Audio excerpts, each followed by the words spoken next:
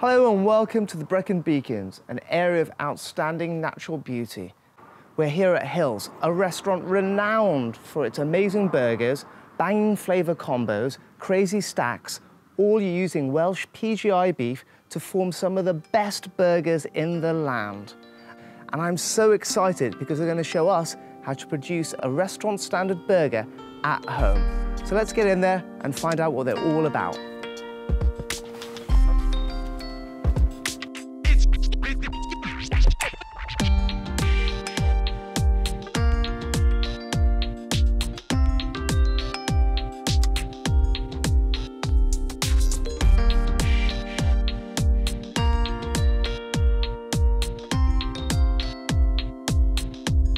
Service, please. Hi, Owen. Hi. So today you're going to show us how to make a restaurant standard burger at home. I am indeed, yes. I'm really looking forward to this, but what are we going to need? Right, well, first and foremost, uh, some really good beef, Fantastic. uh, which has been minced and rolled into balls there. Uh, we've got a challah bun, which we've toasted off. Fantastic. If you can't get challah buns, Um, any sort of sturdy bun that'll hold up to a juicy burger would be perfect. excellent. And then, Uh, we've got two different types of cheese. So we've got Monterey Jack, which is a really good melting cheese with a good cheese pull, and then some American cheese, which gives you that creaminess. talking about uh, the beef, what kind of beef are we using here? Uh, so we use PGI Welsh beef. Fantastic. Um, that gives us full traceability of the meat to the animal it was taken from. That's amazing because that's really from farm to plate sort of situation. Yeah, and that's really important to us. What cuts have you got running through here, if you don't mind sharing with us? That's fine in the restaurant um, to achieve the right balance of fat to meat. Yep. Uh, we use three different cuts. Yep. Um, we use two parts chuck, Yep. uh, one and a half parts beef short rib, Fantastic. and one part sirloin. Now, that's what I wasn't expecting. yeah, and you don't need to go for those cuts at home. You could just go for something like the short rib and the chuck.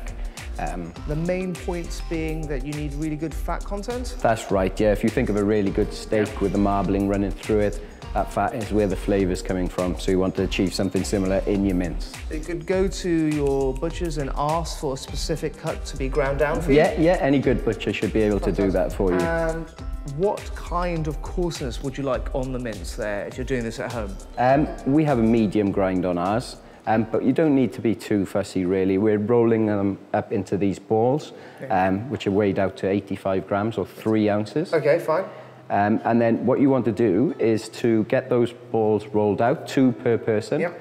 Um, put them on a plate, cover them with cling film, and get them in the fridge for at least an hour before. So why do you do that, Owen?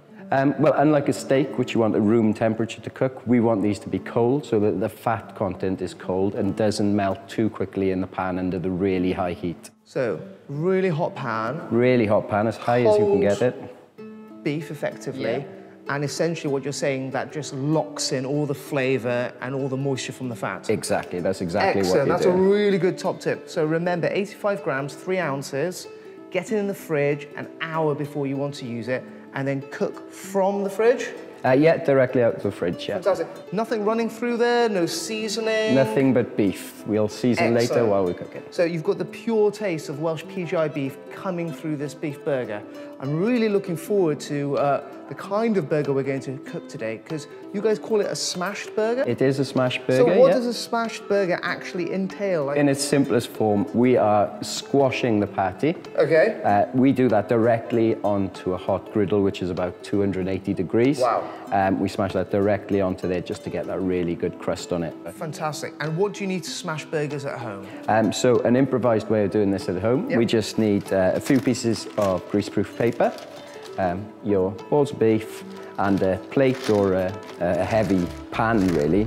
So we'll place another piece of greaseproof paper on top of there, and then we'll just put our weight down on top of the plate and get that as flat as we can, and you can see Fantastic. So that's a nice thin patty a there. nice thin patty. In my mind, I thought you had to put a lot of force onto this, but it's literally just controlled press. It is, To get a thin patty. Yeah, a nice Fantastic. even thin patty, so it's the same we're size all the way two? through. Two patties in every burger. So what that means is you're getting even more flavour into this burger by having that amazing crust on four layers. So two on each burger patty, creating even more depth of flavour in this burger. So we've smashed the burgers now.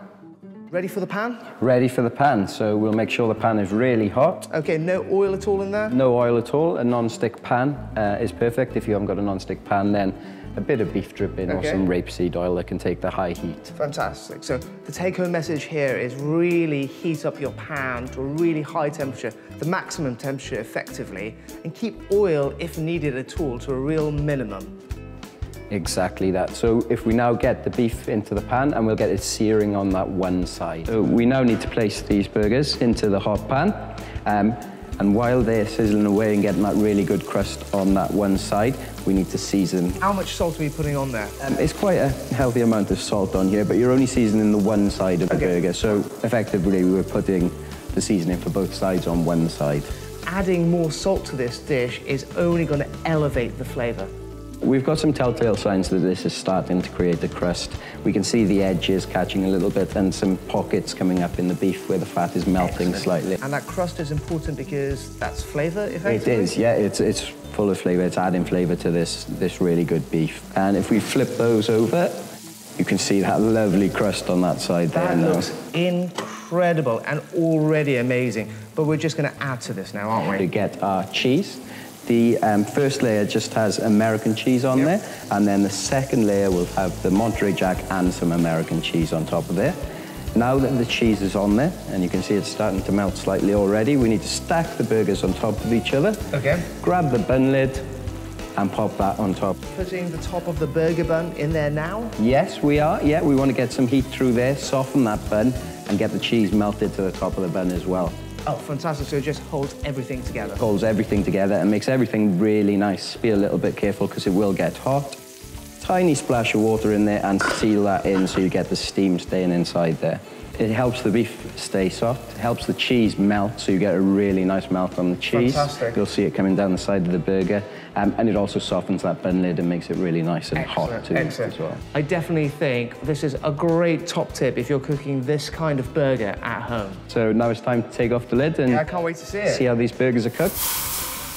Oh, I just want to eat that now. That looks so, so good. Right, is there anything else we have to do before we, We just eat need it? to get it onto that base that we put the burger sauce onto earlier um, and enjoy it. Oh, excellent. I can't wait.